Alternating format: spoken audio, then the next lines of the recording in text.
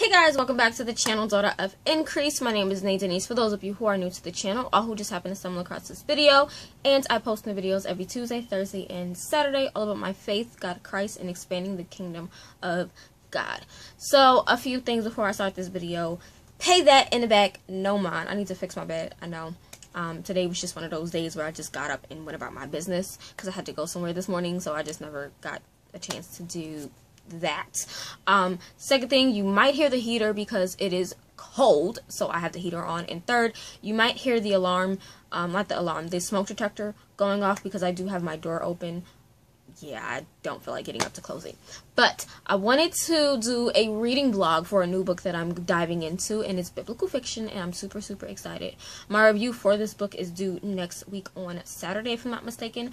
And I did start, I completed chapters 1 and 2, and... Uh, my life.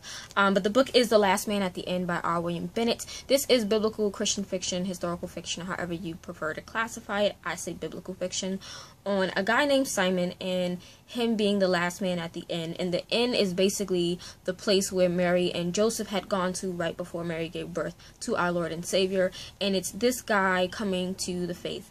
Um, he is a Jewish believer, but he is one of those believers that use their belief for their convenience. So, um, you know, it's it's so interesting, so relatable. I have been marking up in this book, if you guys can see, writing notes because it's like, okay, so on page eight, there's a thing where it says that Simon was a Jew, but he kept his religion in a manner driven by convenience. He married um, he's married, he has a wife, he has a baby on the way and everything. And at this portion, this is prior to Joseph and Mary coming to the door to ask about space. So um, it says that uh, he saw no need for the traditions and trappings of his Judaism unless they helped him, or his wife insisted he keep them. When traveling, he kept the Sabbath if he was tired, ignored it if he needed to work. He observed the diet if those foods were available, but ate what he wished if they were not, or when not at home. They did not seem appealing. He prayed if he if he had needs, asking for help. He did not bother God when he had control of his situation or needed no divine intervention. And for me, I put wow, so he's a part-time believer. And I believe a lot of us are like that. We're definitely part-time believers. Every now and then we use um, our beliefs and faith for convenience. There are people like um, who are still dabbling in the secular world. And I don't mean, when I say secular world, I don't mean like watching movies and stuff like that.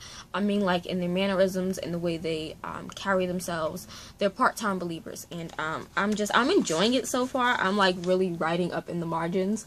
So yes, um, this is a short book. It is only about 195 pages, so about 200 pages worth of reading. I could definitely read this in one day, but I'm probably going to turn it into a two-day reading blog. It is currently 250 so I really just want to unbox something real quick because one of my sisters from YouTube, and I'm going to call you guys sisters because I don't want to call you guys subscribers, I just don't, but she is a sis in the DOI family. She contacted me and said that she wanted to send me something, and this was a couple days ago. And um, one thing I just want to let you guys know, I don't require that you send me anything. I'm not requiring that you guys donate, but you guys do donate and send me things, and I'm so grateful. So, I'm to unbox it on camera for you guys. And it's pretty, yeah. So it came in this packaging, um, and her name is on it. It is Ciara. Um, so thank you so much, Ciara. I truly appreciate it. I'm so excited to get into this. So she sent me a message and said like she that she found something on Life. Hold on, let me open up the message first so I can get this right. We won't get it wrong. Um, she saw my September book haul and wanted to bless me with something, and that she got it from Lifeway near her. Um, since the last few weeks, and she just she hoped I didn't have it already, so she wanted to send it to me. This was on the 13th of October. It is now the 17th, so that was four days ago. Okay, so I don't know what it is. I'm super excited, and I didn't even go back to watch my September book haul. I probably should have gone back to watch that haul, but I don't remember. So I don't know, but okay.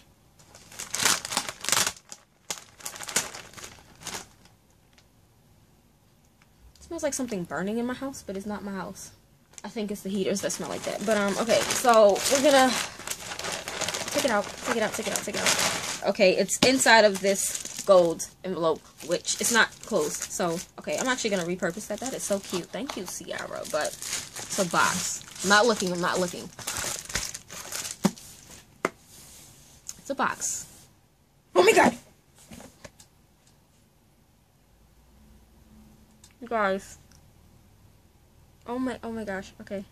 So, I literally just did like literally today recorded a review for this Bible. And in the video, I was saying how I really just want to get another copy of it because the one I own is paperback and I don't want to mess it up. Now it makes sense what she was talking about. So my September book haul, if you haven't seen it, click the on the screen. I hauled the Bible that was gifted to me from um, my leaders at my ordination service. And um, they sent they gave us a paperback copy of that Bible, and I really just wanted either a hardcover or a leather touch because I didn't want to mess up that Bible. That Bible is definitely a, a keepsake for me, so I don't want to mess it up. And I said I wanted to get either the hardcover or the leather touch. You guys, she got me the leather touch. Oh my god, like it's the Fisher of Men Bible. Um, by the time you see this video, that review should have already been up. You guys. Literally I, I really wanted a leather touch of this or the hardcover because this Bible is so good and you will see in the review. If you haven't seen the review, like I said, click the on the screen.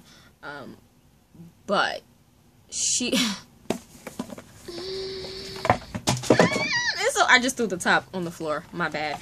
But um it is so pretty oh, this gilded edges. Yes. I love good gilded edges. It's not gold and it's not silver, it's more pearlescent it's not silver gilded edges, but um, oh, smells brand new. Oh my god, you guys, look at this! Isn't it so cute? And they have waves like. Oh my gosh! Thank Sierra. Thank you so much. I hope I'm saying your name right. If I'm not, I so apologize, but I hope I'm saying it right. But oh my gosh, you guys.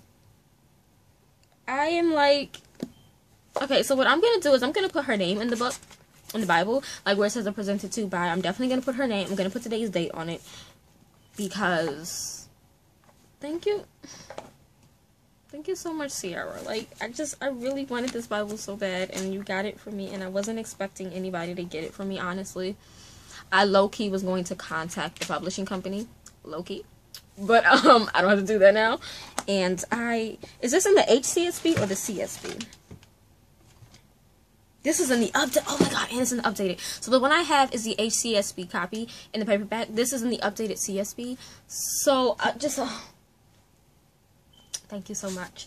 So um, it's 2:55. I'm gonna go across the street now and pick up my son and come back to you guys with more information on um this book. I'm like just I feel so giddy and excited right now, so I definitely have to message her back. Hey guys, so I'm back in the house. It is now 3.49 p.m., same day, Thursday, October 17th.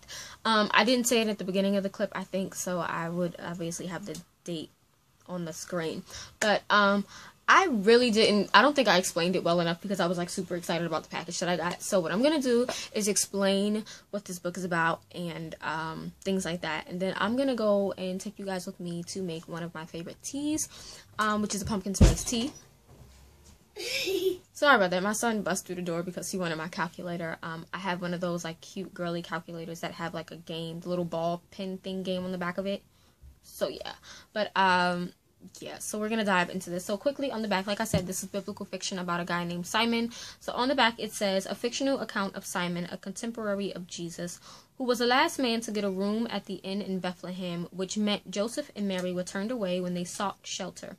That night, unable to sleep, Simon witnesses the gathering of the Nativity and wonders if the newborn child might be the promised Messiah he had heard rumors about in town. Simon begins a journey of faith and reflection as his life intersects with Jesus during the major milestones of his life and ministry. And then on the back, because this is an ARC copy, there are like three bullet points. So I'm going to read those. So it says that Simon visits many cities where Jesus ministered. He witnesses the Sermon on the Mount. He hears the parables and the testimonies and observes some of the miracles, all from a distance.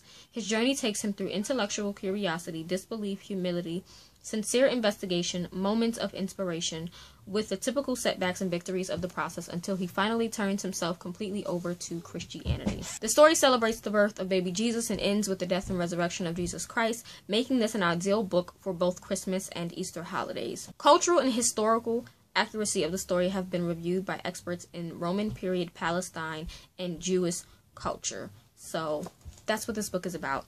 And um yeah, I have already read that portion of the book. Um, this book is broken down into three. Is it three or four sections, four parts, if I'm not mistaken. Let me see. Yeah, this book is broken down into four parts. If you guys can see, I already have all the individual parts kind of like marked off. So I'm trying to at least get through part one before I leave because I do have dance rehearsal tonight with my sisters from church. Um, we're gonna have rehearsal at the church for probably an hour. So yes, um, I have read chapters one and two, and like I said, and um, you know, chapter one is really pretty much just getting to know who Simon is, and then the introduction of Moses. Moses. Why did I just say Moses? The introduction of Joseph and Mary when they are trying to get into the inn but can't. Um, and so we have that going on, and it pretty much deals with um, Simon basically kind of feels bad that there is no space for them because he obviously can see that Mary is pregnant, but at the same time, he just doesn't care and feels like he deserves the kind of space and relaxation that he found. So in chapter 2 is when he goes out for a walk and he happens to come upon all of the shepherds who are at this cave. And inside the cave obviously is Mary and Joseph with baby Jesus. And he is so awestruck that it is hilarious how awestruck he is. But it's really really sad honestly.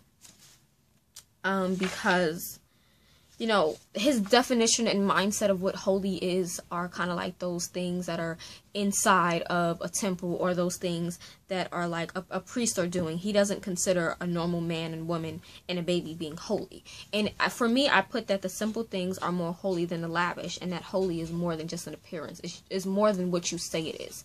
Um, it, it's it, there's a lot more to just the word holy and being holy. So we have that. Um, then there's this thing where um, the Holy Spirit begins to intervene. And I know it's not the Holy Spirit because they didn't have the Holy Spirit at the time. So the Spirit of God is what I'm going to say. Um, began to intervene with Simon um, and was really trying to get him to go forward towards the cave to actually speak with Mary and Joseph. But he kept stopping himself from doing that. And I thought it was interesting because he really is watching everything from afar and he feels the presence. He feels this calmness. Like it literally says that he feels this peace and then it, then again he starts to feel this comfort and this reassuring feeling and that those thoughts of going to speak to Mary and Joseph were very persistent and I'm just like wow it amazes me how the spirit of God is so prominent in someone's um, vicinity, yet they continue to push it away. And I know for me that was the case with me. I could feel the you know the presence of God. I could feel the comfort and the peace, but I just kept denying myself. And even in this, it says again he felt the urge to approach the cage, the cage, the cave, and again he denied himself. And then I said, why deny? when you should oblige and obey. And that's something that I personally thought for myself was like, why did I run for so long when I could have just obeyed and things could have been easier for me? But you know, then at the end of that, it says how he felt like a strange loss when he walked away from the cave in the presence of of Christ. And I, I for me, I wrote that um, not being in the presence of God or Christ um, gives you this sense of loss. So I don't know. I just thought it was really, really interesting. And I mean, I was I was writing a whole bunch in here. Um, and then there's a part where it says that with practice skill, he pushed the troubling thoughts from his mind. And those thoughts were basically the Spirit of God intervening and trying to um, get him to do something, sort of like a conviction. But I underlined it in blue and said that it's sad that that's become normal to him. That it said that with practice skill, it's crazy how a lot of the times the Holy Spirit can um, sort of intervene and convict of us, convict us of something, and we just pay it no mind, and we're so skilled at ignoring the Holy Spirit. So you know, I just I thought it was interesting. So I'm on chapter three as of now. Like I said, I haven't gotten far.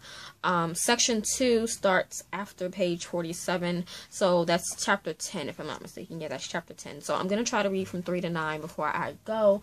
I have maybe an hour or two before my mom gets here, and then um, I think she's gonna give me a ride to rehearsal.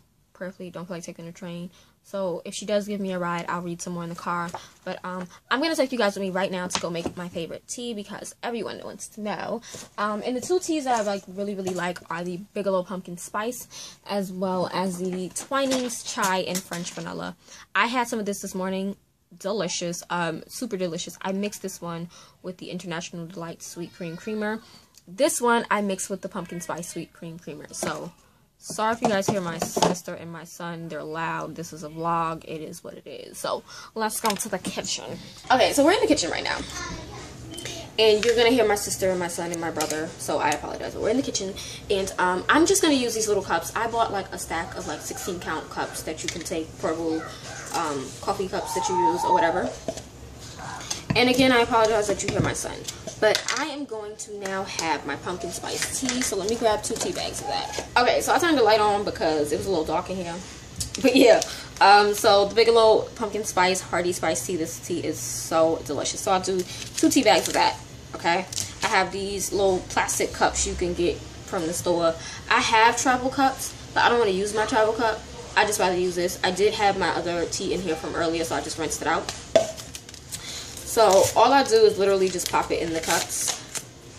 Two tea bags. And get that in there. So again, we have two tea bags inside of the cup. I then use a Keurig just to make some hot water because we ain't got time to be boiling the water. so I normally do about eight ounces of water, but I'm going to do six because I also want my creamer. So we're going to do six and let that go. And I'm going to grab the creamer. Okay, so you guys know I have to put on my creamer. So this is the Cold Stone International Delight Sweet Cream Creamer that I've been telling you guys about for forever. This stuff is amazing. It's like my new French vanilla creamer. So good. But um, I'm going to use a hint of that mixed with this one, which is a pumpkin spice one. This one, they only come out with during the holidays, which kind of sucks. So um, I did snag up four bottles of these. So this one is almost done. So yeah, so the water is done on that. I'm going to grab a little mug because I always heat my creamer up before I put it in my tea. I don't like it to make my tea cold. So we're going to do a lot more of that. With a pinch of this. Just to mix that up. Um, then I'm just going to heat it up for 30 seconds. I normally do a minute, but I'm going to do 30 seconds. I do it in increments because I don't like um, one it to explode in the microwave. That has happened before where I've heated something up for too much and it exploded. My son, no shirt. I'm sorry. We getting ready to leave soon. Okay, so cup here. I have five packs of sugar and I literally just buy this, um, what is this? 100 count sugar packets from the Domino sugar brand. That's what I use. Um, it helps me to manage the sugar because if I have to actually pour the sugar in myself, I go a little overboard. So, two sugars pour it in. And there's no meticulous way. You just put the sugar in. I just dropped that. Creamer just stopped. I heated it up for another 30 seconds um, off camera. So that just stopped. Ooh, I spilled some sugar. Did not mean to do that. I have these coffee stirrers that I got from Walmart a while ago. Large pack. I'm just going to use one to stir up the sugar inside. So, and again, I apologize if you hear my sibling and my son. So I'm going to do something a little extra today. A little extra. I am going to whisk my creamer so that it's frothy. So I have this, um, what is this called? Simple Taste Frother. Simple Taste. And I literally have the creamer here. I don't know, can you guys see? No, you can't see, it's not going to work. But um, I'm just going to whisk it. Give it a little bit of frothiness to it. Normally I do this if I'm drinking out of like a mug, but I don't know, I'm just, I feel like doing it today, so we are. Um, just a little, not a lot. I don't take out my tea bag if I'm making this tea or chai tea. I leave the tea bag in because I like it really, really strong. Because um, I try to dilute it. It's a weird thing. I try to dilute it, but I also want it stronger. So I just leave the tea bags out. Unless I need to reheat it. And then I just pour this inside. Trying to get the rest of that out. Trying to get the froth out. It's not trying to come out, but... Okay. You guys can see some of the froth on this spoon. I mean, on the stirrer, but...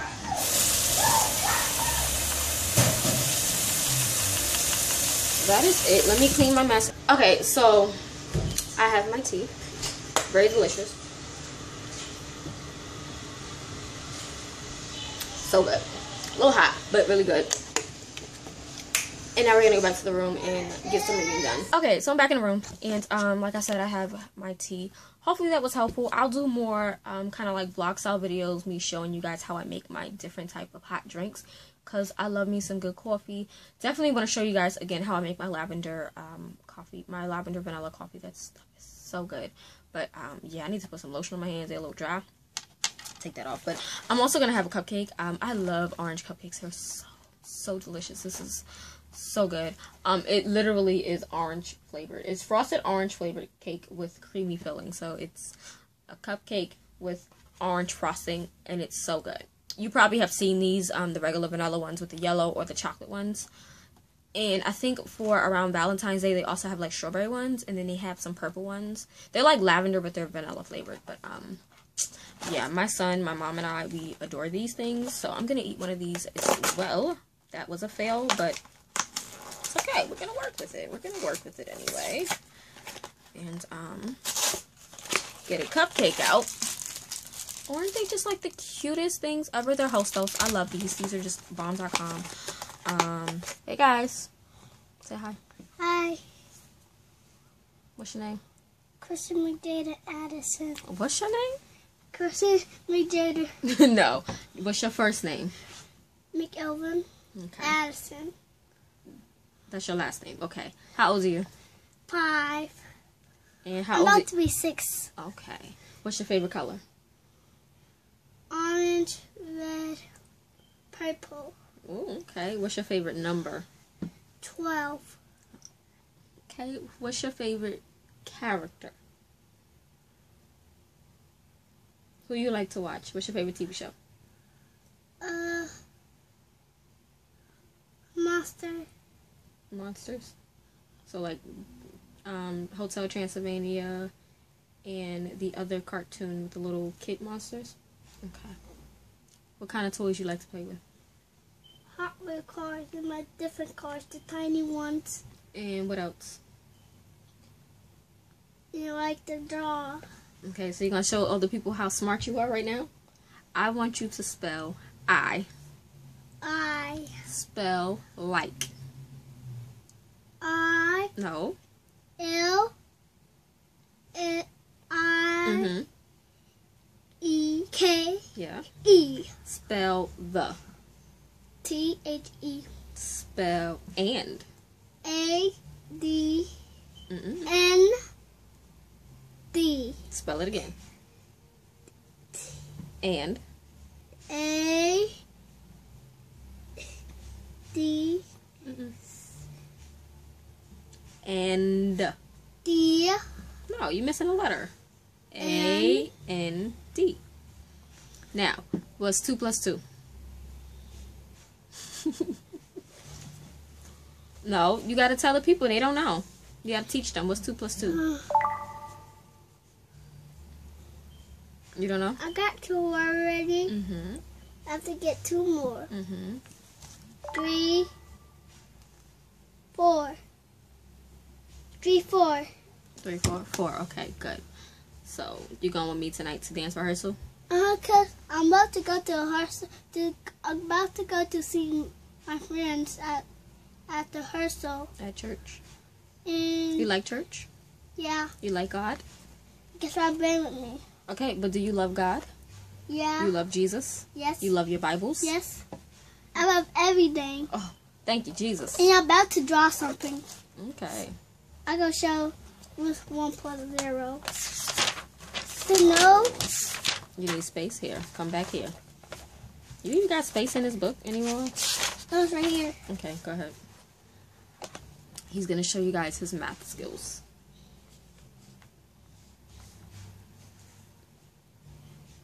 That's gonna give you a negative. Don't you mean you mean take away or add? And So you gotta make the cross. Okay. So he wrote you for you guys one plus two. So what is one plus two? one plus two.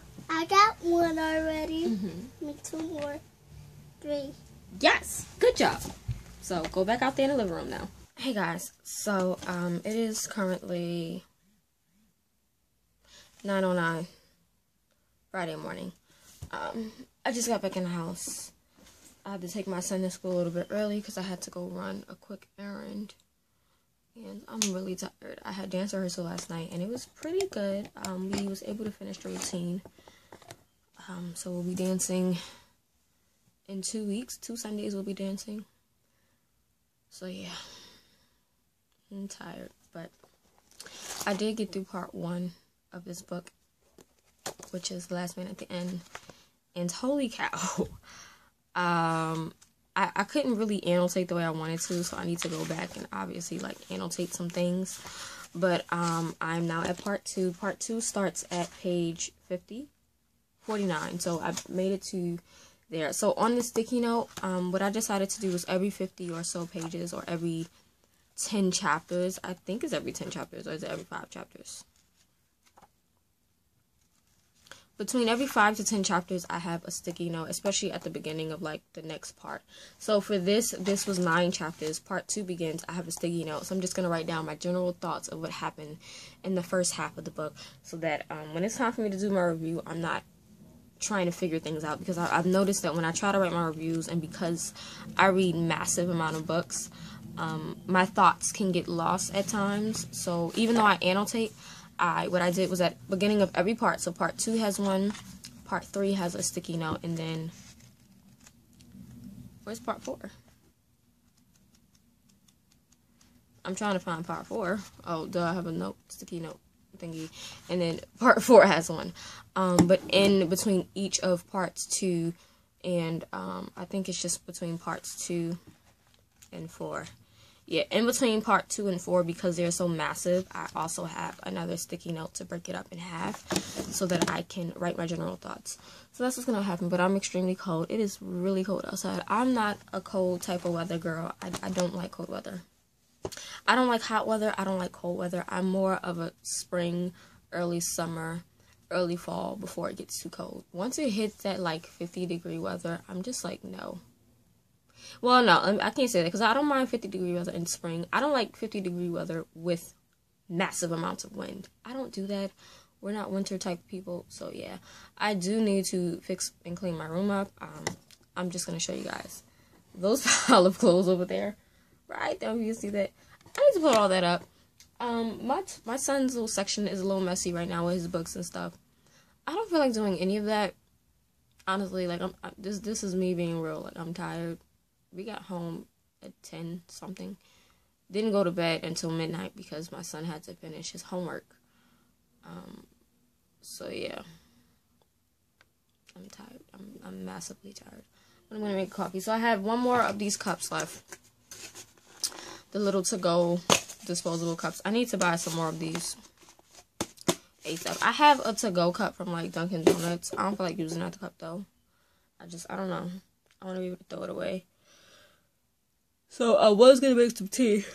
I was gonna make some tea, but I'm make some coffee. I make my famous French vanilla coffee with lavender syrup because I just I'm in the mood for that. But um before I do, I just want to give some more info about. Do I want to talk about this now, or do I want to wait? I will talk about it now. So, anyways, um, so like I said, I had got to chapter three. Um, so chapters three to nine were interesting. So chapter three, he goes home. Um, well, no, chapter three, he's still in Bethlehem at the place at the inn with the guy, and him and the guy are talking about, um, you know, the whole prophecy concerning the king being born um, to save the Jews and whatnot. And this is at the time that Christ was born. He's in the cave. Everyone's in awe. Blah blah blah. And I don't mean to say blah blah blah rudely, but yeah, I know the story. So um, there was something that I really really liked in chapter four. Um, Simon is beginning to realize how lackadaisy and how um, he was using his faith and his belief as a convenience for himself. So he speaks to this guy, um, the guy he was staying with at the inn. He's like, okay, so I've been trying to remember something and I'm a bit embarrassed to ask you for your help.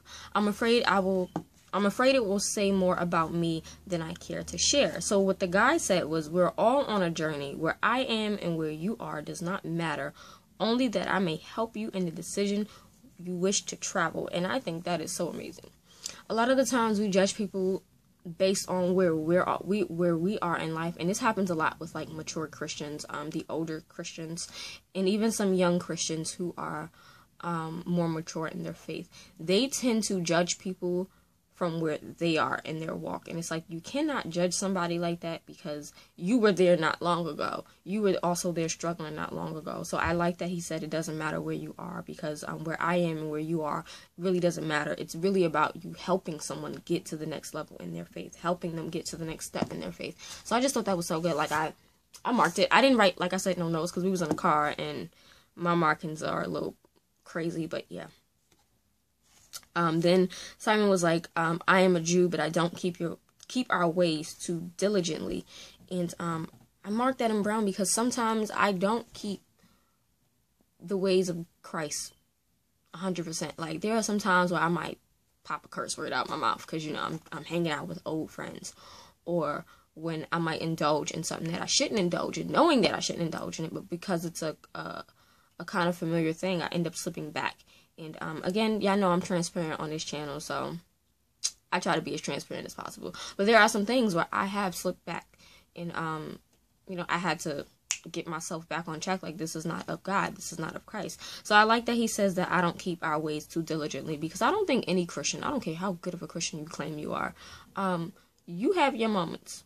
I don't care because everyone gets angry. Like everybody gets angry and everybody thinks negative thoughts about someone. I don't care what any like it blows my mind when people say they never thought negatively about somebody because it's like have you honestly never negatively thought about somebody? Like somebody pissed you off, somebody hit you with something. I'm pretty sure if somebody hit you with a bat, you're gonna think something negative. I'm I'm just saying. Okay? So, you know, um I had marked that. And then as they kept they kept conversing about the whole um you know the baby possibly being the king and the messiah. But um the guy was like oh no. Simon said you know he doesn't think that this baby is the king. So the guy is just you know he's like well i don't mean to offend you. And the guy said something really really smart which i'll get to in a second. But he said i'm just curious why you are so sure this child is not the king. Is it that is that so much more fantastic than saying parting of the red sea how about manna? Jericho, all these things are quite fantastic, are they not? The birth of a baby seems trivial compared to these miracles, and a baby must be born somewhere. Why not here? And um, for me, that made me put into perspective like a lot of people tend to argue that, you know, Christ was not the Messiah. But isn't that the miracle in that he was born in a manger? Not in this lofty type of place, not with riches and funds. Like he was brought low, raised high so that man could live. Um, I just think it's so amazing. And like the whole parting of the Red Sea, that was just unimaginable. Like, come on, you did it with a stick. You know? It was like he parted the Red Sea with a stick. Obviously, it was God's power, but it was just like, come on, you did that with a stick. The whole manna coming from the sky, that's insane. Like, the walls of Jericho coming down from shouting, but the fact that the Messiah was born in a manger, or in this aspect of the story, he was born in a cave. The guy is trying to figure out what, why can't um, Simon believe that? So, yeah, but what got me was that the guy said, if I was taken aback by insult, I would spend my life going backwards. And I said, wow. How many times are we offended by something and we spend our whole entire day getting irritated? Sometimes weeks, years, and months being irritated with that one offense. It's just like now you're going backwards. You can't move forward because now you're stuck in a standstill because somebody offended you. And that has happened with me before when people have offended me and I've held on to that for years and years and years. You know?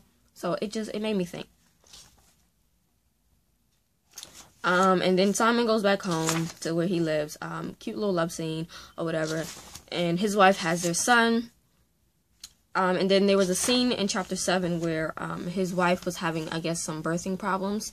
And the midwife was starting to get frantic. So he went into prayer mode. And again, back earlier in, um, was it chapter 2 or chapter 1? In chapter one, he basically was talking about how he is um, driven in a manner of convenience by his faith. He'll pray if he needs to, pray if, but he won't if he doesn't need intervention. So this, I, I, I marked it as sad because he literally was like praying out.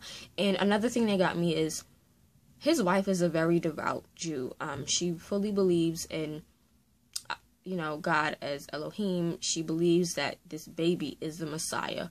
And he is starting to feel bad because he's just like, my wife is so devout, yet I'm not. My wife is so, so much of a believer, but he's not. And he doesn't know the scriptures as well as her.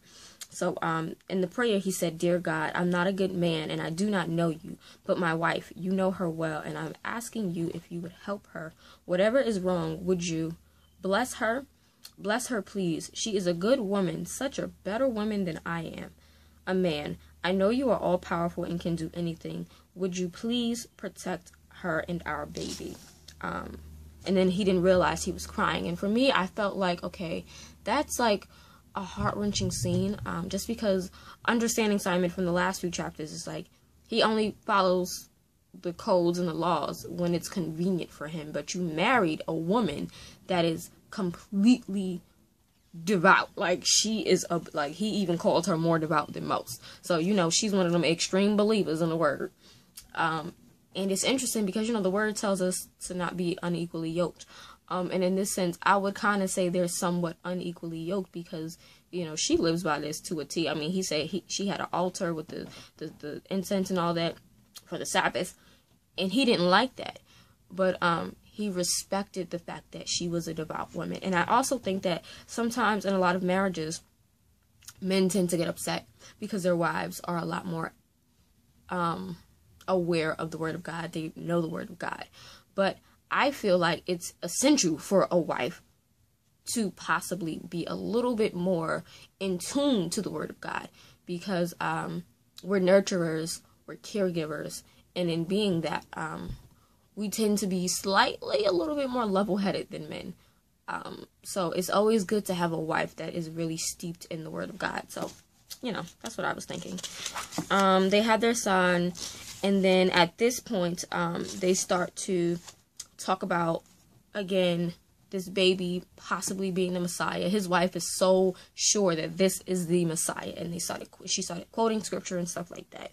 And then he said, "This child, he is but a few months old, and he seems to be changing everything. And it's crazy how God can take the littlest insignificant thing. And I'm not saying that the Christ, the, you know, the birth of Christ is insignificant, but I'm saying that the way that, that Simon said it is that this small thing, um, he's only a few months old.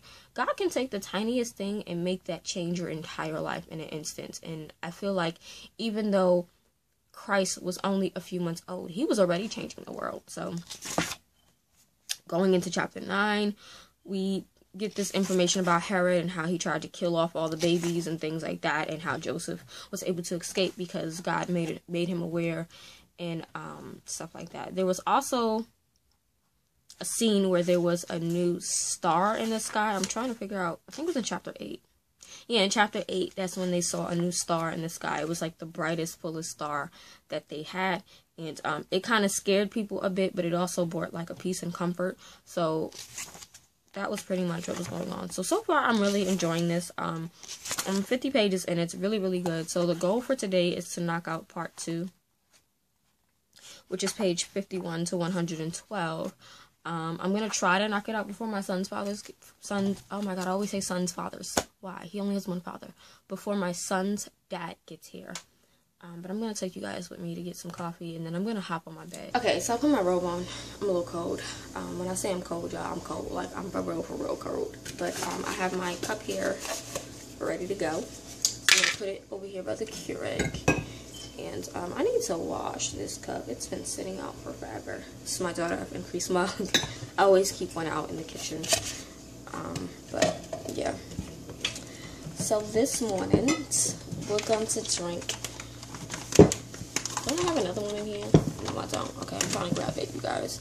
So, um, I drink the Donut Shop, um, Arabica ground coffee. I'm probably saying it wrong, but here's what it looks like. I have the Great Value version, the Walmart version, but I also drink the actual, like, Donut Shop brand version coffee. But we have this one, and then I also drink a few others. I drink the Cafe Bustelo, my mom got me onto this. Um, we've been drinking this before they had the little K-Pods. And then I also have this, which isn't really coffee. It's more of, I would say a latte, but they can, I don't know. But it's a Cafe Escapes in um, Cafe Caramel. I also drink the French vanilla one, but I'm just in the mood for like actual like strong coffee. So we're gonna go with um, this because this is actual coffee. This is espresso. I don't want an espresso. I just want coffee. So we're gonna put that in, and I'm gonna do six ounces of um, the coffee. Okay, so my coffee's done. Great. Oh, coffee. Um, so I have the Torani vanilla syrup. I prefer French vanilla. I don't know. I just like the way French vanilla tastes. Um, this one is the caramel. Yes, the classic caramel. That's still good. So we are good with that.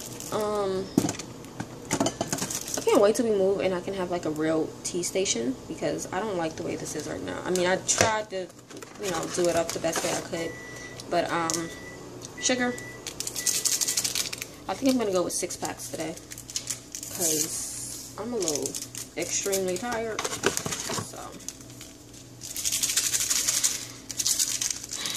that's two, three, six. Okay. So I'm literally just popping my sugar in right now because we need sugar. I was tired. I wish I had another bagel because I still got cream cheese. Ugh, I would totally have a bagel right now. Okay.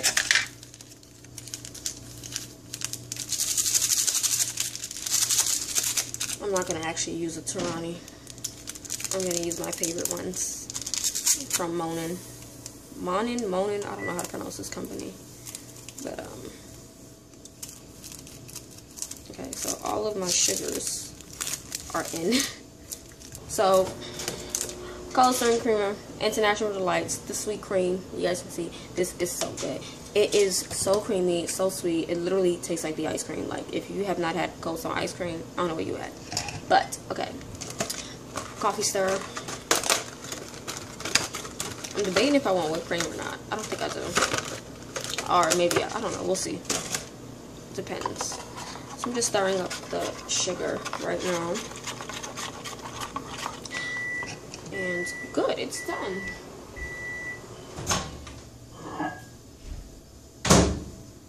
So good. So we're to froth with my little um, frother.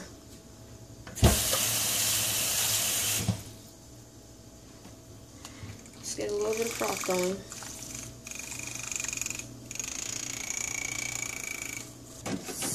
So, and I'll show you guys the froth in a second.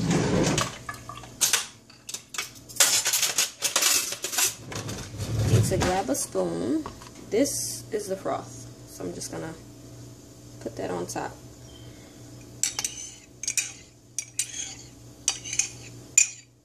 Got that going. You guys can tell I'm tired. Right. I'm looking for the measuring spoons. Tablespoon. Okay, here we go. So I have a one tablespoon measuring spoon and a half tablespoon. So I'm to go with French vanilla first. This is from um, Monin Monin Don't Know. I have their French vanilla syrup. I'm to show you guys how low my lavender is right now. And I haven't had lavender as much because it's so low. But this is a lavender one, you guys. Yo, I am down to the core. Like, oh, this is so good if you mix it in with like lemonade and make a lavender lemonade. Oh god. So good.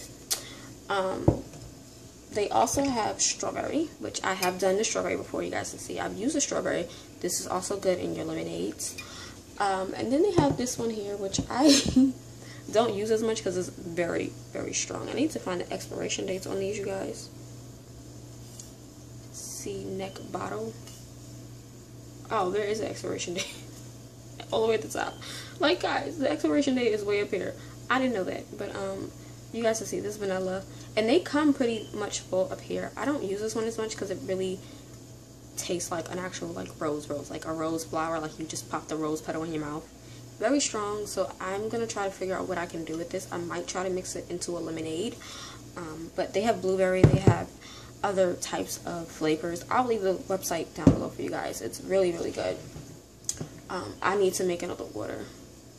These expire in 2022. Okay. just you know I gotta check. It does get sticky, so I need to run hot water on on top so that I can loosen these up. They get um, stuck because it's a bit sticky, obviously. So I normally do a whole teaspoon of the lavender, but the lavender is very strong. And this basically one teaspoon, I believe one teaspoon is good for 16 ounces, but because I did um, only six ounces and then I have maybe like eight ounces total in this cup, I'm not going to do a whole teaspoon of the lavender because that thing is strong. if you like at night I don't mind it because that's when I'm like really looking for something relaxing but I just use the one tablespoon for the vanilla sometimes I put two if I want it really really um, sweet and vanilla and I'm probably gonna use two today. That's one. Uh-oh. Two. So literally just two tablespoons of that. Okay. I think I'm gonna use that too. I don't know why I put that in there but okay. So we have that going. And again, that was the French vanilla syrup. So when you guys hear me say syrup, this is what I'm talking about. Because I know some people might get confused on like, what does she mean syrup? That's what I'm talking about. That doesn't go there. Okay, and then I'm going to use half a tablespoon of this because I don't want it super, oh my god, that smells so good. I'm a sucker for lavender So good. But this is really bomb. Like if you want a lavender um, type of like tea or if you want lavender lemonade. Oh my god. For the summer, this this was the oof, that was it for the summer. Um, okay, mixing that up. And let me taste.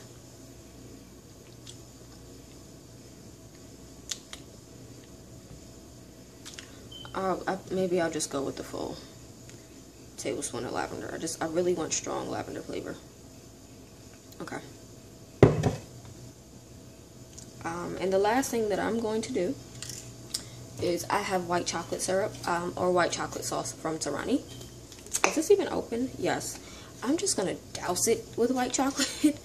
um, I literally don't have no qualms. I just pour it in there. I, I don't measure. I just I pour it. That is good on top of something. like if you do whipped cream and you drizzle the sauce on top. Oh my gosh. I'm not doing all that though because I'm just not in the mood. Really tired, guys. But um, start that up. Close this up. I need to clean out the Keurig, but I don't feel like it right now. So we're just gonna, I'm just gonna close it. I'm gonna stick this over here. I'll clean it before I leave to my fiance's house. But um, Oh my god. It's so good. And it smells so sweet and creamy. Oh, yeah, I was missing that, that white lavender.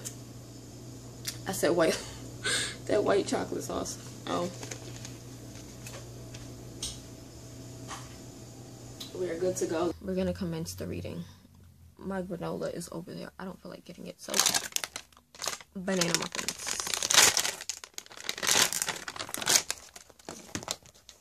let me get me some um some ambiance music going. So um I wrote my little note. I kind of wrapped up my page, but luckily this is just an ARC, so I can get a hardcover of it. But um, I wrote my thoughts so far from part one. I wrote that um, Simon is a Jew that holds his beliefs out of convenience. His view is skewed, however, God has been working on drawing him nearer. Through an encounter with others and seeing the Savior, his heart begins to shift and his focus as well. I also went back and did some annotating. Oh, I didn't draw my arrow. But um, I went back and did a quick little bit of annotating some notes within the pages. So, just on some of the things that I wrote. Um, also, the tabs I'm using, I got them off of Amazon. I'll leave them linked down below.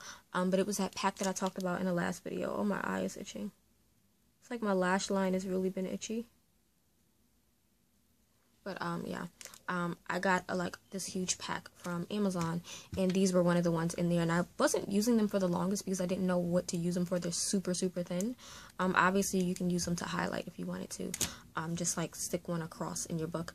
But um, I am actually using them. I'm gonna use them in my smaller like mass market paper size, mass market size um books.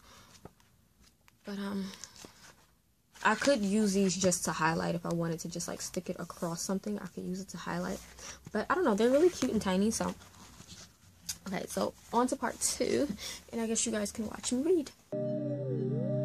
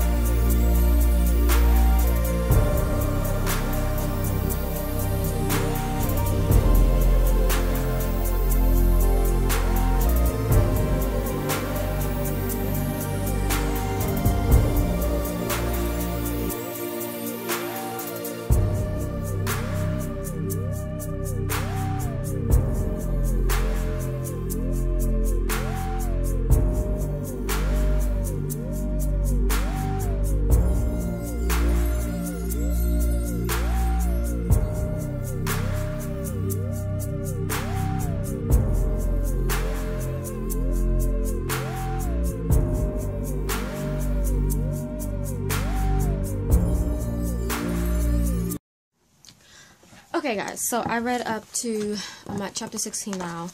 So 13 to 15, I think that's what I read. I don't really remember. 12, 12 to 15, rather. Um, and basically, what I've written in my little note is that um, we see Alexander. So first things first is at the beginning of chapter 12 there is another time skip and um, they're doing a lot of excessive time skip they skip from the birth to six years later to 12 years later which i'm just like bruh what's, what's going on with these time skips? So i guess skipping way too much for me. But they literally did a 12 year they did a 6 year skip a 12 year skip and now they're at the time where alexander is about 30 and alexander and christ is about the same age so he's also 30 um, and they mentioned joppa which i put lol because um, when i hear joppa i think of jonah and how he tried to run away from god um, and then at this part we have alexander and um, simon alexander his son they're splitting up to make quicker sales. Um, and I'm loving the relationship they have as father and son. I think it's amazing. Um, and Alexander says some really smart things to his dad that kind of it kind of irritates Simon. And Simon is at a, a at a point in his belief in his faith or his walk with God where he's teetering between his own belief and what true faith is. Um, so that's where we see him at, and they separate and whatnot. They come back together. Um, but on Simon's own travels, he pretty much tries to avoid Nazareth because he heard that that's where Jesus is living. So he's trying to, again, avoid, and I don't get why you're avoiding him. Um, they meet up at this guy named Levi's house. And immediately, Levi, his wife, Abigail, I think it is, Abigail, and Alexander, Simon's son, they have this newfound belief in um, the Messiah, Christ. So they believe, and Alexander is a little bit afraid to speak to his father about it, but they speak about it, and um, you know, Simon is just set in his ways and his own beliefs, and it kind of like hurts me. But um, Alexander talks about John the Baptist and all the things that John the Baptist spoke, and then his Alexander began to question his father because it's that part where um, John the Baptist was talking about how we need to care for the poor, give up some, get like if we have two coats or whatever, give up one to the other. So Alexander is like, well, father, we've had so many coats We've seen many without coats, and we have had plenty, but we have always shared what we. I'm sorry. He said, And Father, we've seen many without a coat when we have had plenty, but have we always shared what we could? And then Simon immediately gets upset and gets defensive and says that Alexander, we have always been generous, talking about offering food. But then what Simon says kind of pisses me off. He says, but they have to deserve it. I will not hand something to a beggar who refuses to work or to try to improve his own condition. And that was a smack in the face for me because I've seen people, like where I live, there are three or four, I think there are about four, four um, homeless people that live on my, like live in my area. And you will see them every single day. Like they're up the block by the fast food restaurants all the time. And I remember when I first started seeing them, I was like, okay, cool. I would, you know, help out as I could when I had the funds to do so. Give a burger or something like that. Um, and when my son's father, like we're in the drive-thru of McDonald's or something, we'll see those same people. They'll come to the car for change. He'll give change. But I used to get irritated because I'm like, you have a means to get out of your situation and your circumstance. Now, don't get me wrong. Some people are literally stuck, and that's okay. Um, but then there are some people that they have a means to get out of it. They can go into these programs, but a lot of them don't want to have to listen to rules and regulations. They want to live their lives. So I used to stop helping because I'm just like you have a means to get out of the situation and you choose not to. So why should I give up my money? And I'm being I'm being as blunt as I can and honest with you guys. Like I used to think that because I feel like if I know you have a means of getting out of this and you can easily go into a homeless shelter or something like that, but you don't, and some of them will admit that they don't want to listen to someone else's rules and regulations. Why should I help you? Right? Like, I feel like you don't deserve my help. But what got me is that Alexander said to his father, he said, Who decides if they deserve it? And at that point, I'm just like, wow. I don't deserve God's love. I don't deserve His mercy, His grace. I don't deserve His blessings. I don't deserve any of the promises. I don't deserve any of the things that He's doing in my life. I don't even deserve to be, be called an evangelist, honestly. But um, it's not about me being deserving of it. It was about my heart. And God looked at my heart. And I have to really start looking at these people with a different mindset. Because sometimes I'll help and sometimes I won't. And I, I often don't help nowadays because you hear so much on the news about these homeless people killing other people because they're not getting what they think they deserve. And it's just like, what do you think you deserve? And then on top of that, how can you know when someone else deserves something or not? So then what killed me is that, um, you know, when he asks his father who decides if they deserve it, Simon immediately starts yelling, I do. And I'm just like, you're such a fool. Like, I literally put such a fool because it's like, Simon, if you really think about your life from the beginning, when Mary and Joseph came to the end and Mary was pregnant and had to give birth to Christ in a cave, do you deserve life? Like, you basically was like, no, I, I'm going to stay here and let them just figure things out. It's their fault. Like, do you deserve the kindness of God? Do you deserve that when you prayed to God, He answered your prayer and saved your wife and your son? Like, do you deserve it, Simon? No, I don't think so. So, you know, this book is really like ugh, gutting my heart. Um, and then Alexander again goes in to say that all I know is that I did not hear give him your coat if you think he deserves it. And I think that's funny because a lot of people always say that, you know, they won't do something if they don't think someone deserves it, but the scripture never talks about you thinking someone deserves it. Just do it. You do it because it is the word of God. You don't do it because you think someone deserves it. And that even goes into like when you need to work or if you're like in ministry and you have to help out in ministry, be it cleaning up, cleaning the bathroom, throwing out garbage or whatever. Do it. It's not that you have to do it for recognition or it's just this whole page was just filled with so much stuff. And then Alexander goes on to say that, um, where is it? Where is it? Where is it? On the next page, I think it is. Yeah, okay, so what got me again is that there was another kind of Alexander being resolute in his words. He's like, Father, I would not be offended. I wish you did not think that, but I respect your right to think differently. Most importantly, I would not change. I'm sorry, he said, most importantly, it would not change what I believe. Again, I put resolute in his faith. Um, Simon begins to get annoyed. Then, it, well, after, okay, so after he said that, right? After Alexander said that, um, Simon started thinking about the guy that had told him before how his beliefs won't change what that man believed, and immediately there is a definite change in his in his being. He begins to feel a desire to know more about Christ. Um, but then he starts to get frustrated again because Alexander asks, him, asks Simon some really good questions. So the first one he says, um, if you don't believe, if you don't believe it, meaning that Christ is the Messiah or whatever, um, is it because you believe something else? And if so, what is it that you believe and why? And this is Alexander. He's not being snooty. He's not being like sarcastic. He's asking a serious question.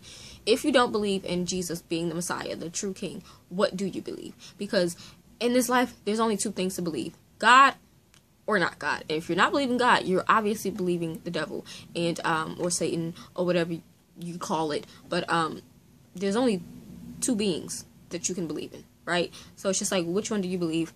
Um, and then he says, Father, don't you understand? I respect your right to think that I'm just asking you to give me one reason you believe it. And again, Simon gets irritated, and it's just a lot of Simon battling with himself to understand. So then in chapter 14, um, Alexander's just like, I'm helping you prepare to go to, to, go back and sell. And immediately Simon feels some type of way. He's like, What do you mean, help me? Um, does this have to do with yesterday and what I just spoke about, how they came to disagreement? And Alexander's like, no, Jesus is back and he wants to go and hear from Jesus and really learn. So Alexander has a real, true, like, fervent hunger to know more. And, um, you know, then Simon says, Alexander, I understand well.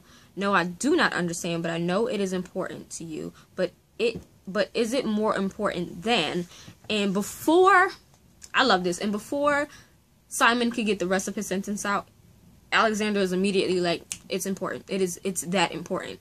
So he's like, well, you don't know what I was going to say. He said, I don't need to know. Whatever you compare it to, this is more important. And my thing was, how important is God to us? Like, are we so resolute in our beliefs and are we set in the fact that God is more important than anything in this world to us? Or do we compromise how important he is or put him on like a secondary scale you know um so then you know alexander's like father you know how much i love you and you know i would never try to hurt you. I worried that telling you this would hurt you. So if you understand nothing else though i wish you would understand this. This is so important that i risk hurting you to do it. And again my thing is are you willing to risk your relationships with people? Are you willing to risk your job for the sake of Christ? Like, are you willing to risk it all? I mean, Alexander is risking it. Like, he's just like, Dad, I, I love you and all, but um, this is more important than anything, including my relationship with you. And I'm like, am I that resolute in my beliefs and my faith in God? You know? So, um, Simon immediately gets upset and he was like, Well, this is so important to you, you mean? So he said, No, it's so important, period. It is important to everyone and to you. And again, I think this is amazing because Alexander does not know Jesus. He has not met Jesus himself. But from hearing the word, you know, he has become so resolute in his faith and belief. Obviously, they know much because um, Mara, which is Simon's wife, is a very devout woman, so she definitely trained her children well. But, you know, after that, Simon just immediately just gets real, real aggy, and he, he makes me so irritated. So 15, Simon is on his own and he starts reminiscing about the whole thing with the prophet Elijah challenging the priest of Baal and the whole um, having them cry out to their God and him crying out to God thing. So that was cool. But um, yeah, I put that Alexander has come to the faith. Um, he puts his being into knowing more about Jesus. Simon becomes pig-headed and set in his ways. He tries to hold to his beliefs and there is a spark of interest in Simon, but he is afraid of things being unpredictable. Um, so, 82, 81 pages in. I'm loving this book. It's really, really good. Um, it's really short, so I'm trying to enjoy it as much as possible because, again, I could fly through this if I wasn't making this vlog, but I really want to vlog my experience with this book. Um, I'm definitely going to finish it today. It's a short read, but probably not all of it on camera. But so far, this is, like, so good. I'm really going to try to finish all the way up into part 3 right now and then hopefully try to finish up to part four. That way while I'm at my fiance's house, I could finish part four and talk about it while they are away at practice because they do have practice today. My son has his final practice for flag football since the game is tomorrow. So they go to practice from 5 to 7, I believe. Um, and we're leaving. My son gets out of school at 3, so I'm leaving here at 3. So I have maybe about an hour and a half with them, and then they're leaving. So I'm going to try to definitely finish this while I can over there so I can end this vlog. But I definitely recommend this book. It is so, so good. I think this came out on the 8th. Don't quote me, though. It'll be on the screen. Um, but if I'm not mistaken, this came out October 8th. So you can definitely get your hands on a copy of this. I'll leave a link down below to Amazon. This book is really, really good. And it really makes you think about things. Um, I definitely want to get a hardcover copy of this book. It is so, so good. So good. So good. I'm really enjoying it. Um, it's not like emotional and heartbreaking like my other books are. Which I kind of like that it's I don't want to say lighthearted because it's not uh, not really lighthearted, but it's not as emotional, you know, as like my female characters be. Um, I really just like this being from a man's perspective, so I'm excited for this. All right, guys, so I'm back. Um, it is 106. I'll show you guys in a second.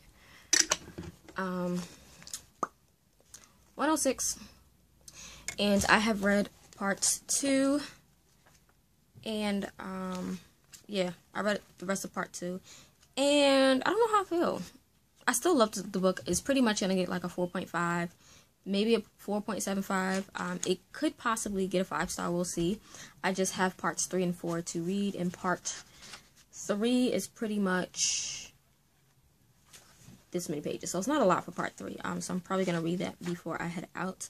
But, um, it's been really sad so far because Alexander and everyone is like, they believe that Jesus is the Messiah, and everyone is like talking to Simon about it, but Simon is still stuck in his ways and doesn't believe that he's a Messiah, and it's pissing me off because he doesn't believe he's a Messiah. So it's kind of like he's dealing with a, like an emotional battle right now. Um, he's remembering certain scriptures. Um, but what got me is that when he went back home, um, because I told you guys, I think I mentioned that Alexander had went his separate ways because he wanted to follow Jesus and speak more about it. So, um, when Simon got back home, his entire family basically was like, okay, we've come to the faith. We believe that Jesus is the Messiah. But he's only, he's like the only oddball out. And then he had a conversation with his 10 year old son. And his son is like, well, I hope you aren't mad. And he started crying. And he's like, well, I don't want you to be angry. I don't want you to leave us. Because I guess some of the children in the area where they live, their fathers are leaving because they don't believe that Jesus is the Messiah. And um, that was just so emotional and sad. And I was like, oh my God, why? Um, but yeah, and then Alexander comes back home and he's just like, I'm leaving. I'm going to Galilee.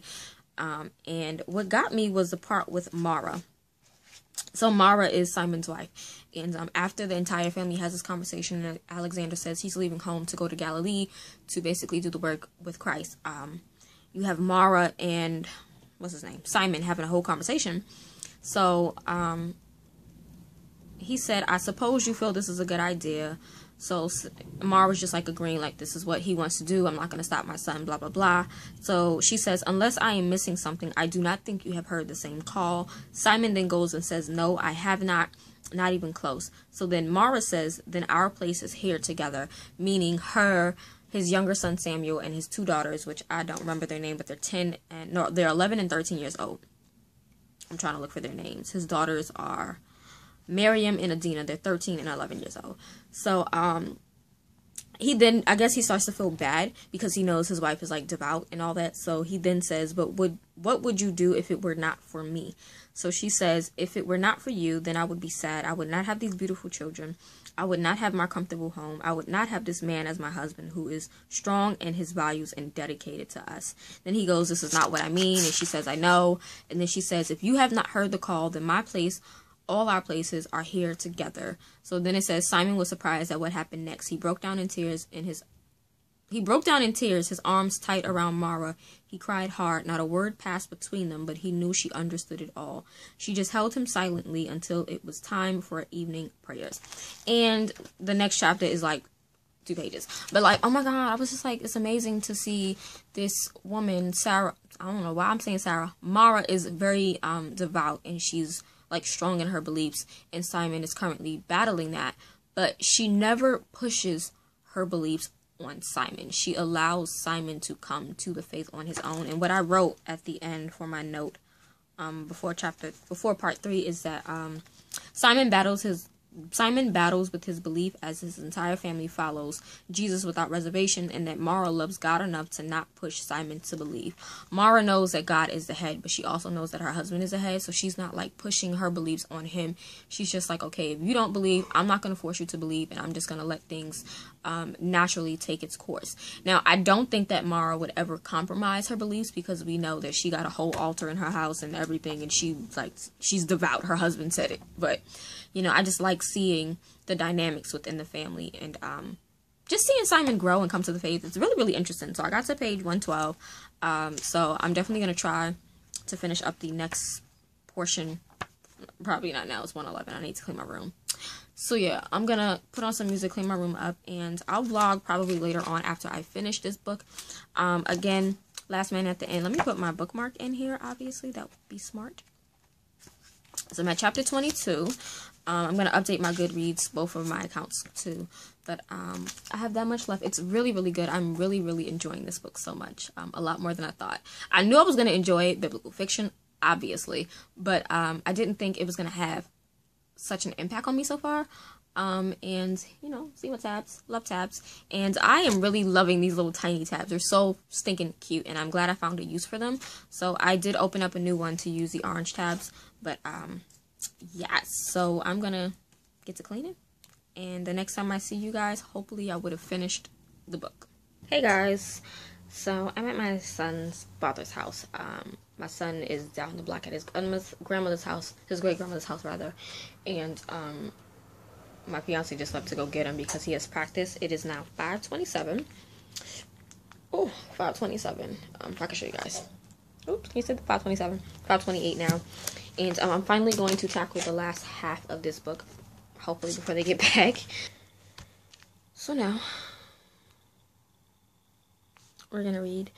Um, I'm just pulling up one of my videos to watch.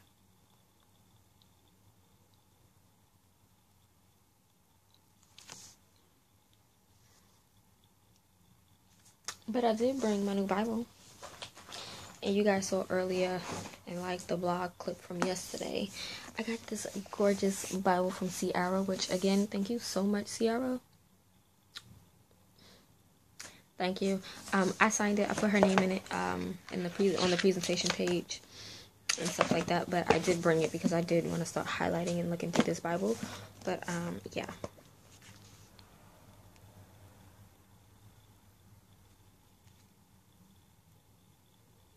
Okay, here it is. I'm just going to my reading ambiance list right now. So,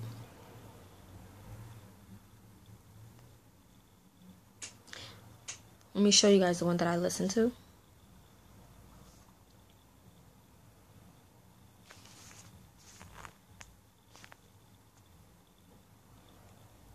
Let me just fix the settings.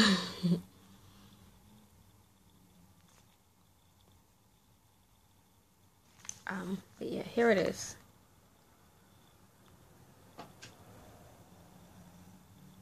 And it's literally just wind chimes, birds, and the cracking from the fireplace. So let's get to reading.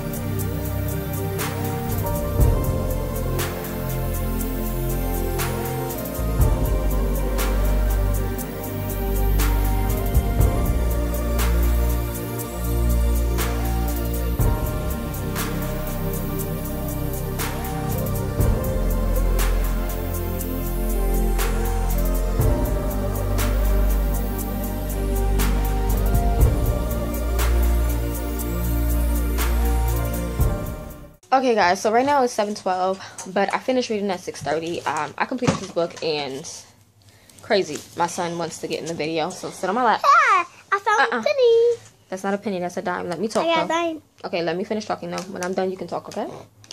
But um, this was surprisingly really really good. Um, this is based off of an actual biblical figure. Um, Simon, if you guys read the part where um Jesus had fell with the cross, and then the Roman soldiers made him get made another man named Simon Wait. pick up the cross. Wait, Wait. give me a second. You dropped it on yourself. It's okay. I got it. But um yeah, it's that Simon. It's in Matthew 27 verse 32. It talks about Simon. So this took that scripture and gave that man a whole kind of story from beginning to end and it was very powerful, very amazing. I will have a dedicated book review for this because it is really good. I'm not going to keep talking too long because I got to go downstairs and cook some dinner.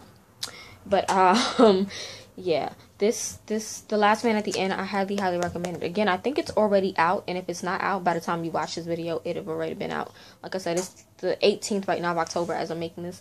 But um this was really really good. It's definitely a one sitter, but I would say take it in parts.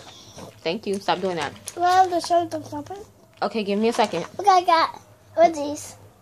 They can't answer you. Say Mike and Ike's. Mike and Knights. Okay. I might have to store so much. Okay. Give me give mommy a second, okay? Okay. But um this was really, really good. And I enjoyed it. It was really good. Um, but I'm gonna end the vlog here. As you can see, I might when I get home tomorrow I may make another clip. Well, I'm gonna just make another clip for tomorrow. Um, but just so you guys know, I finished this on the 18th, so it was a two day reading vlog, and I definitely give this a five star rating. So I'll come back in a later clip to talk with you guys further. Morning guys. So I'm out here in this dang cold air. It is 8:38 in the morning on the 19th. It's Saturday. You guys can see that it is Saturday. Um, I think it was like 39 degrees this morning.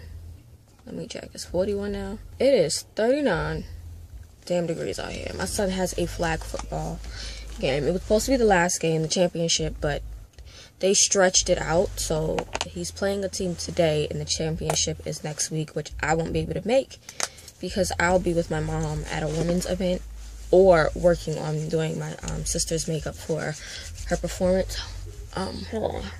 So I just wanted to come on and end this vlog for the book, The Last Man at the Inn. I really, really enjoyed it. Um, it was really, really good. You know, at first I thought it was just a random story about a guy named Simon. Oh my gosh. I think my hair is like this because I had the hood on my head. But um, at first I thought it was like a random story about a guy named Simon who just, you know, was the last man at the inn. But I liked how they made it about the Simon that helped Jesus carry the cross to his crucifixion. That was amazing, and that really made me love the book even more because I originally was going to give it a 4.5, 4.75. But after reading it and it got to that portion, I was like, wait, is this really the man? And I looked up the scripture and it came from Matthew 27 32. So um, I enjoyed it. I enjoyed the journey with Simon from the birth of Christ to the death of Christ and the resurrection. Um, I enjoyed learning more about his family and seeing how his family was so resolute in their faith and belief, but how he wasn't. And I liked how they didn't push him or force him to um,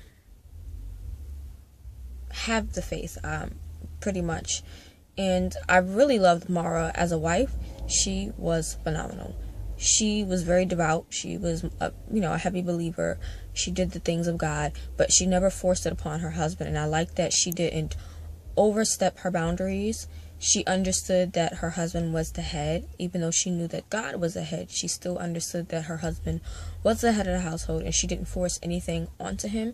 So I definitely enjoyed this book. It was phenomenal. I don't have the book on me right now. I left it in the house, but um it was really really good. So i'm gonna sit in this car and i'm currently reading an ebook right now. It's called angel mage. Um, so far i'm not liking this book. It is a fantasy. It's a young adult fantasy that i have to read for my other book blog. Um, i'm only 2% of the way in. This review is due next week monday and i'm not enjoying it so far. Um, i do have other books that i need to read so i'm probably going to put this on the back burner until the weekend because i'm not enjoying it it's very heavy on like the information, information overload. But um, yeah, so I think I'm gonna just pick this book up right here, which is my YA fantasy novel that I was reading. Because I have to read the first and second book before I can get to the third book, and the third book is the book that I have to review. And isn't this so cute, you guys? Reading is the bubbles, and it's Ariel. I printed out a bunch of these Disney kind of like bookmarks, and then um, I printed them on regular paper, I think it was, and then I laminated them. This one is a little bit messed up because I was running low on ink and still didn't care. So I'm going to have to probably reprint this. But, um, so cute. But, yeah. So that's what's going on. I don't know if you guys are going to be able to see. Hold on. Yeah, you're not going to be able to see. But I am at the school that they're playing at. And, um, yeah. So I'm going to end this vlog here. I hope you guys enjoyed this vlog. I definitely recommend you guys pick up this book. It is so good. Um, I am going to contact the publishing, the, the, the publicist that I communicate with, with the Shadow Mountain publication company to see if she could send me a hardcover because I definitely, definitely, definitely, I love my ARC, but I damaged my ARC up with my sticky notes. So I definitely want a hardcover to reread down the line. Um, but yeah, that is it for this vlog. I'll see you guys in the next reading vlog. Bye.